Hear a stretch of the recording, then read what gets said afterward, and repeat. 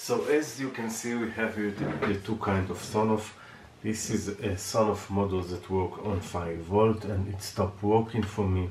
So I said hey why not trying to use this instead of this. And I'm almost sure that uh, it's not a big problem to do it. So let's steer it down and uh, see if we can make this one to work on 5 volt instead of two, 220 volts. So first step is of course to remove the box. By the way, I've never done it before, so hopefully it will work. So we can see here we have all the RF uh, and the antenna. This is the RF circuit and we have the uh, diode for the 220 volts input which I'm not going to use but then we have a transformator here that probably take the voltage down and I suspect that it take it down to 5 volts. And there we have the relay the internal relay inside. This relay is just a uh, normally open which means when it gets power you can just use it and normally close but it's not a big problem to, to remove this relay or mount this relay instead of this with wires. So now let's try to work it on 5 volt and try to understand. So if you will look this is of course the input of the 220 volts going through the resistor and we have a circuit here. And they did a nice job here we have the two input of the 220 volts. One of them gets to the output directly and the other one is going through the relay connectors here. So these are the relay connectors. About the input probably this is the transformer I guess. And we have here the output capacitor and probably there is some regulation voltage here which I see this is a regulator because I see the number 1117 that I know that this is a regulator uh, chip. So this is the output and this is the capacitor out.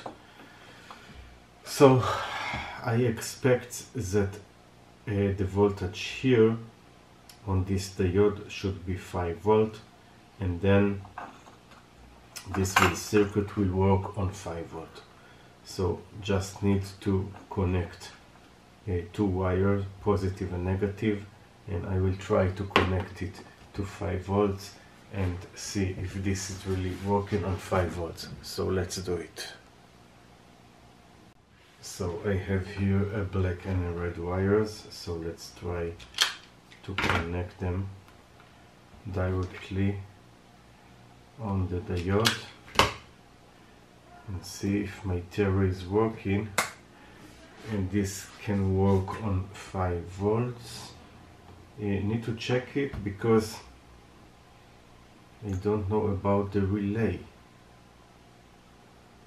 What do I mean? You need to make sure that this relay is suitable for 5 volts or this is 12 volt I think there is something written on the relay but I really can't see it right now.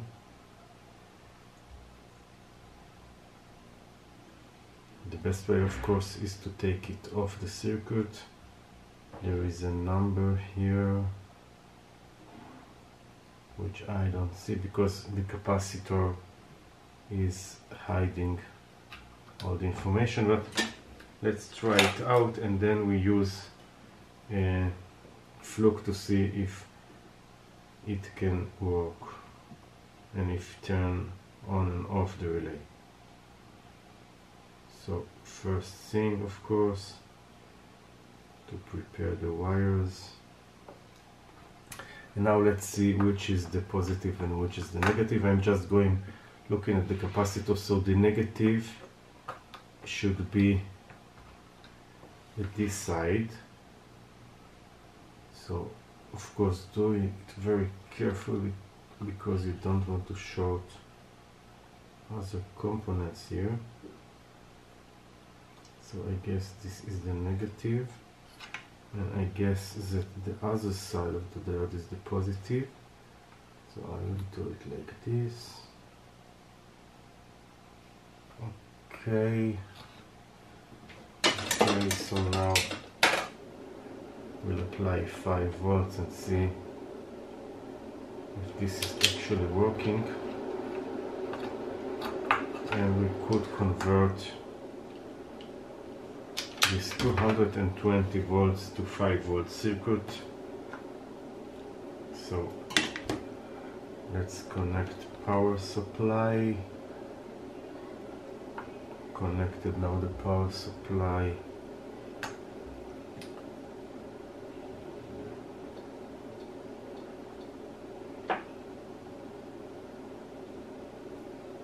aha. This seems to work. Now need to check if the relay will work because we can see the LED flashing. Now the only issue here is that I'm not sure that it will be enough power to work if the relay does work on the same voltage as all the circuit here. So uh, maybe by the way, the best way was of course to connect it to 220 volts and measure the voltage. Maybe we'll do it later just to make sure that I've done the, the proper sync. Uh, maybe maybe I will do it right now because maybe this regulator is for 3.3 volt and not for 5 volt so I need to check it I need to verify it so do not try to do it at home okay I will do it just for demo purpose only. So please do not try this at home. I'm doing it for you because it is dangerous and it is all without cover and don't try it at home, okay? So now let's see what happens. We have 5 volts, we can see it. Okay, so my estimation was clearly reasonable and do not try it okay now you know. It should work on 5 volts without a, a problem.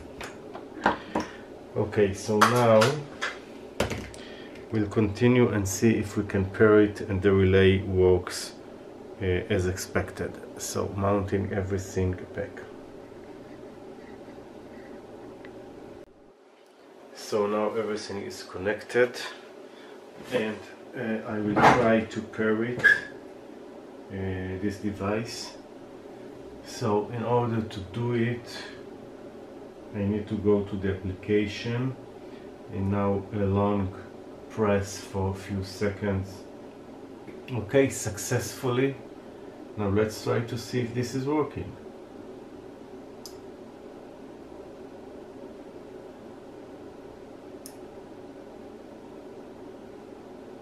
aha there is a new firmware. I need to update the firmware.